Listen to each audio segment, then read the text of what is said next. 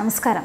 ന്യൂനപക്ഷ വിഭാഗങ്ങൾക്കുള്ള ക്ഷേമ പദ്ധതികളിൽ മുസ്ലിം വിഭാഗത്തിന് കൂടുതൽ പ്രാധാന്യം നൽകിയുള്ള അനുപാതം റദ്ദ് ചെയ്ത കേരള ഹൈക്കോടതി വിധിക്കെതിരെ പ്രതിഷേധവുമായി മുസ്ലിം സംഘടനകൾ. ന്യൂനപക്ഷ സമുദായങ്ങൾക്കുള്ള സ്കോളർഷിപ്പുകളിൽ മുസ്ലിം സമുദായത്തിനായിരുന്നു എൺപത് ശതമാനം അനുവദിച്ചിരുന്നത്. ഇത് സംബന്ധിച്ച സർക്കാരിന്റെ മൂന്ന് ഉത്തരവുകളാണ് ഹൈക്കോടതി റദ്ദാക്കിയത്. ഹൈക്കോടതി വിധിക്കെതിരെ രൂക്ഷമായി പ്രതികരിച്ചുകൊണ്ട് മുസ്ലിം സംഘടനകൾ രംഗത്തെത്തി. ഇടത് പാർട്ടിയും വിഷയത്തിൽ പ്രതിഷേധം അറിയിച്ചിട്ടുണ്ട്. മുസ്ലിം സമുദായത്തോട് മുഴുവനുമുള്ള അനീതിയാണ് കോടതി വിധി എന്ന് ജമാഅത്തെ ഇസ്ലാമി പ്രതികരിച്ചു. വിധിക്കെതിരെ സർക്കാർ അപ്പീൽ പോകണമെന്നും ജമാഅത്തെ വ്യക്തമാക്കി.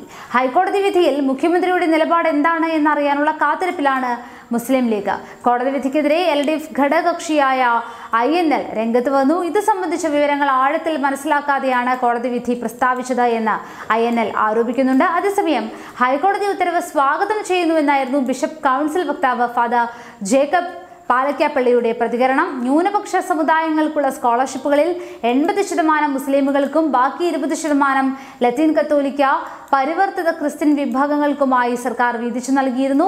ഇത് സംബന്ധിച്ച സർക്കാർ ഉത്തരവുകളാണ് ഹൈക്കോടതി ഇപ്പോൾ റദ്ദ് ചെയ്തിരിക്കുന്നത്.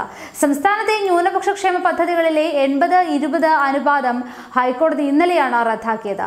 സംസ്ഥാന സർക്കാരിന്റെ കീഴിലുള്ള ന്യൂനപക്ഷ സ്കോളർഷിപ്പുകളുടെ അവകാശം എൺപത് ശതമാനം മുസ്ലിം ന്യൂനപക്ഷ വിഭാഗങ്ങൾക്കും ഇരുപത് ശതമാനം പിന്നാക്ക ക്രൈസ്തവ വിഭാഗങ്ങൾക്കും നിശ്ചയിച്ചുള്ള സർക്കാർ ഉത്തരവാണ് ചീഫ് ജസ്റ്റിസ് അധ്യക്ഷനായ ബെഞ്ച് റദ്ദാക്കിയത്.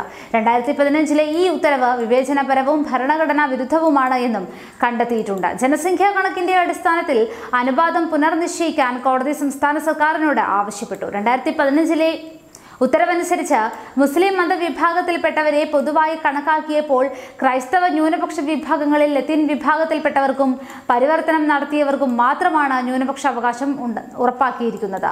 ഈ നടപടി കൂടി ചോദ്യം ചെയ്തായിരുന്നു ഹൈക്കോടതിയിലെ ഹർജി.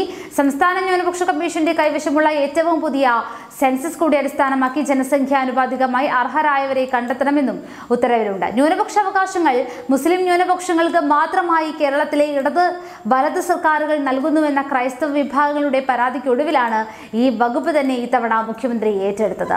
ന്യൂനപക്ഷ സ്കോളർഷിപ്പ് വിധിയിൽ സർക്കാർ അപ്പീൽ പോകണമെന്നാണ് മുസ്ലിം ലീഗ് നേതാവ് ഇ ടി മുഹമ്മദ് ബഷീറും പറഞ്ഞു വെച്ചത്. കക്ഷിയല്ലാത്തതുകൊണ്ട് ലീഗിന് അപ്പീലിന് പോകാൻ കഴിയുമോ എന്നറിയില്ല. ഇക്കാര്യം പരിശോധിച്ചു വരികയാണ്. എന്നാൽ സർക്കാരിന് അപ്പീലിന് പോകാമെന്നും ഈട്ടി പറഞ്ഞു. എൺപത് ഇരുപത് എന്ന അനുപാതം യു ഡി എഫ് സർക്കാർ അല്ല കൊണ്ടുവന്നത്. പാലോളി മുഹമ്മദ് കുട്ടി മന്ത്രിയായിരുന്നപ്പോൾ എൽ ഡി എഫ് സർക്കാരാണ്. സർക്കാർ ഉത്തരവ് പരിശോധിച്ചാൽ മതിയാകും. ഇത് തെളിയിക്കാൻ തയ്യാറാണെന്നും ഈട്ടി പറഞ്ഞു. കോടതി വിധിയോട് യോജിപ്പില്ല. ക്രിസ്ത്യൻ ജനവിഭാഗ ജനസംഖ്യയിൽ ന്യൂനപക്ഷമാണ് എങ്കിലും വിദ്യാഭ്യാസപരമായി.